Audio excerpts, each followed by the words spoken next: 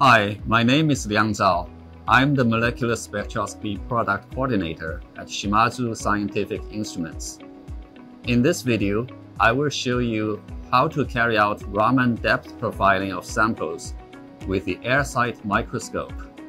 This video highlights typical operation. For more details of the full functionality of the software, please refer to the instruction manual. Start by loading your Raman sample. Then launch AM Solution Measurement software and initialize the system. Check that Raman is selected at the top of the screen. In Microscope setting, select the laser wavelength. Then click On to turn on the 532 nanometer and 785 nanometer lasers. Make sure Raman scan parameters are set. Use the wide field camera, then the Raman objective to find a location of interest on the sample. Take wide field image and tiling images when necessary. From the Register Measurement Points list, select Depth Line.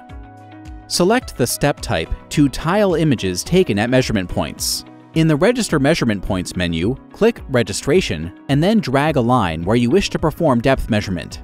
Set file storage destination and file name. Make sure to raise the light shielding cover to close it. Click Sample Scan to open the window for setting the depth measurement parameters. In the pop-up window, click Get Stage Position to set end depth position. Click Move Z Stage button to lower the stage to the start depth position. Click Get Stage Position to set start depth position. Enter Step Width. Select Measurement Order. Then click the Start Measurement button to start your depth profiling measurement. The laser irradiates different layers of the sample to acquire Raman spectra at different depths.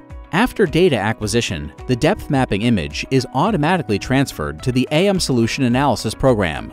Chemical information of the measured cross-section can be set and displayed conveniently.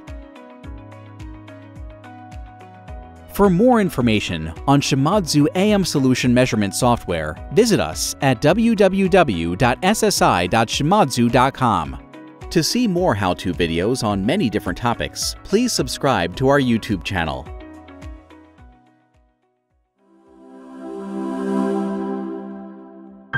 Excellence in science. Shimadzu.